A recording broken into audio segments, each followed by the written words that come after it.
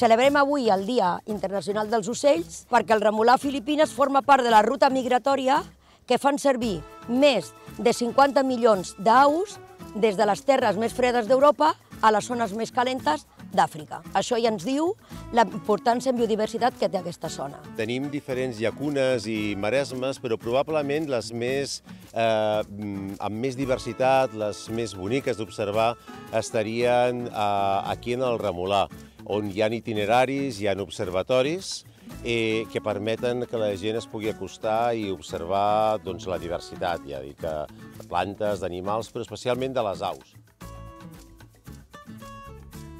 decidimos que era que estaba interesante para los niños. Siempre nos apuntamos, siempre estamos atentos a las páginas web a ver qué información ponen y, y siempre intentamos ir.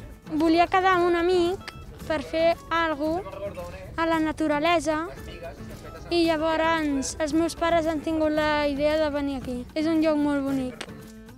Ajuda a apropar els nens i les famílies a la, a la natura també entendre que hem de preservar aquest espai natural i un mètode educatiu que sortim fora de les escoles i, per tant, també ajuda a que els nens ho aprenguin millor. Normalment vinc per aquí, pel, pel Remolà. Vinc a veure la reserva, a veure els ocells.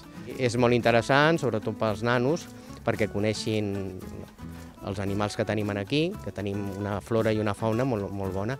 La pena és que no vingui més gent, hauria de vindre més gent.